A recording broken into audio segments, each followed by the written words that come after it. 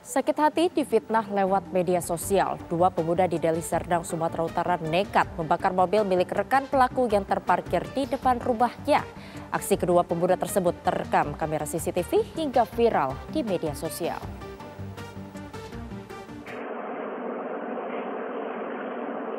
Inilah rekaman kamera pengawas saat seorang pemuda menyiramkan bensin ke mobil yang terparkir di perumahan Deli Garden 2, Kecamatan Deli Tua, Kabupaten Deli Serdang, Sumatera Utara.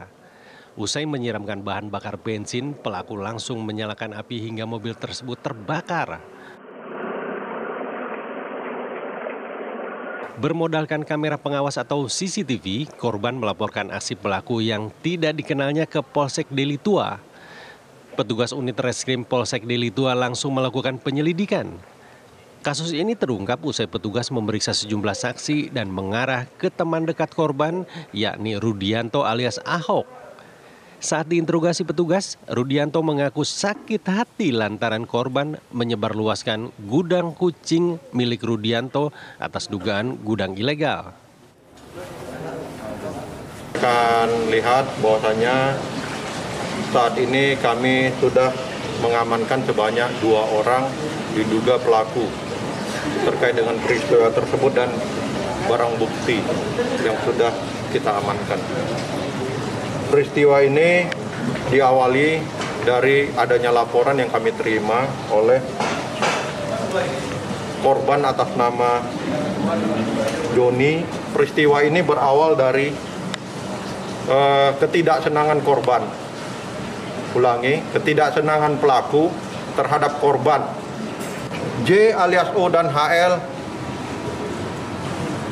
berniat untuk melaksanakan apa yang menjadi tujuan mereka yaitu membakar mobil daripada si korban. Petugas telah meringkus Rudianto alias Ahok sebagai otak pelaku dan Herman sebagai eksekutor pembakar mobil yang diupahkan Rp500.000. Namun hingga kini petugas masih memburu pelaku berinisial S yang membantu Herman saat melancarkan aksinya. Pelaku Rudianto alias Ahok mengakui perbuatannya dan menyesal atas tindakan yang ia lakukan. Emosi tersebut memuncak setelah korban menyebarluaskan video gudang miliknya. Sakit hati saya. Sakit hati kenapa? Karena di gudang saya diviralkan hal yang enggak-enggak.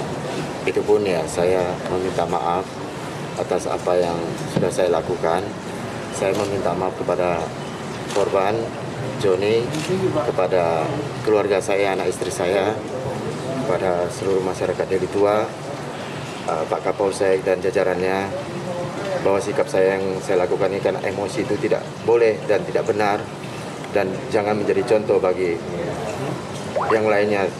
Atas perbuatannya, kini Rudianto dan Herman harus mendekam di sel tahanan Polsek Dilitua dan dikenakan pasal 187 dengan ancaman hukuman 12 tahun penjara.